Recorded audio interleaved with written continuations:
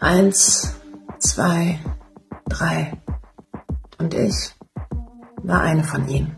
Er sagte mir, es passiert nie wieder. Er entscheidet, immer, auch für mich. Er sagt, das war meine Schuld. Das ist Gewalt.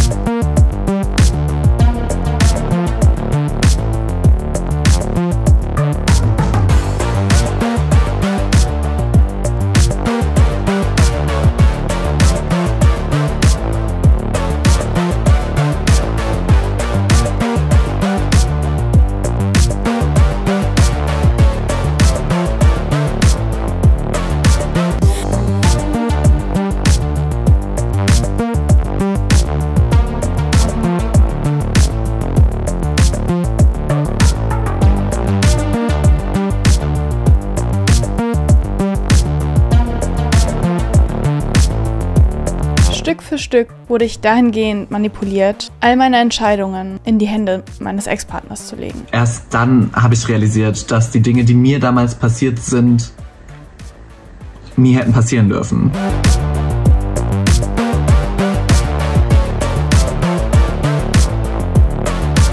Nicht erst Gewalt, wenn du körperliche Verletzungen davon trägst.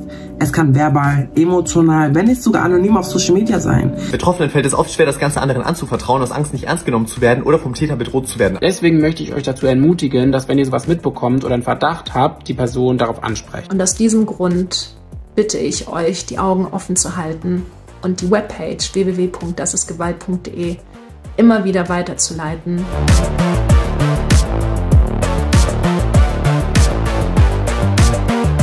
Wir können für Betroffene da sein. Gewalt gegen Frauen geht uns alle an. Mach du bitte auch mit.